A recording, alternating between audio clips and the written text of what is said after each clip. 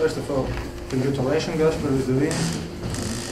And what about the game? I think at the start of the game, our concentration wasn't on the highest level, mm. and we didn't follow the game plan.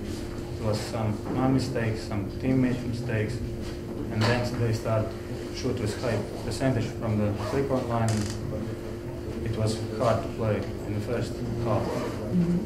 Na początku chciałem pogratulować trenerowi zwycięstwa. Y, Nie zagraliśmy na najwyższym poziomie. Ja popełniałem błędy, koledzy popełniali błędy, w związku z tym nie można było wygrać tego meczu. Um, play well offensively. Um, it's a great game for the fans. We need to just win. um, but it's just another win. Have to come back ready and focus on our next opponent, our next game.